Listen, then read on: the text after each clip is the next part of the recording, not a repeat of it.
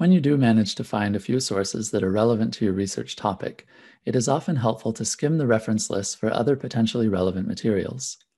Research builds on existing research, and by following the scholarly conversation through citations, you can find additional sources to inform your own research and grasp how scholars have collectively advanced our understanding of the topic.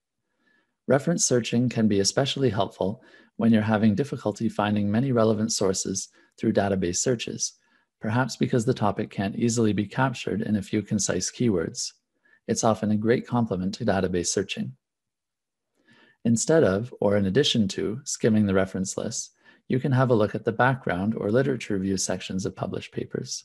They can helpfully place some of the sources cited in the reference list in context and give you an idea of which sources have been especially influential. When you find a source you'd like to use, be sure to identify what kind of source it is before you go looking for it. It may be a government report that can be easily accessed through a hyperlink provided. If it's a book chapter, you should start by searching for the title of the book in Summon or the library catalog. In the case of journal articles, you can search for the article title in Summon or Google Scholar.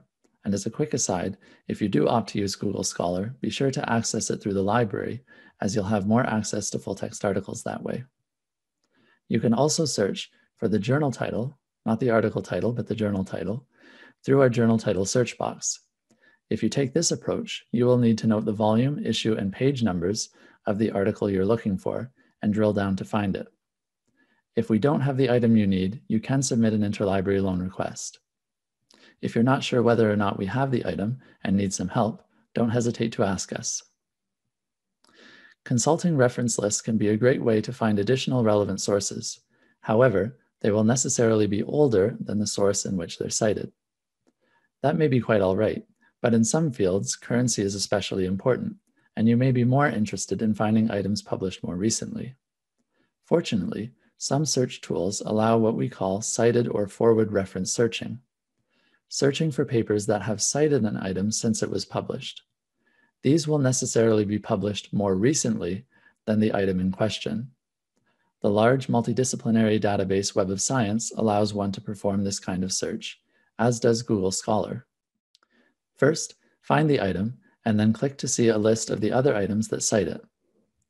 Note that you can access the list of citing sources from Web of Science through some summon search results as well. Cited reference searching is less helpful when searching for a very recently published source, as it will not have had time to accrue many citations.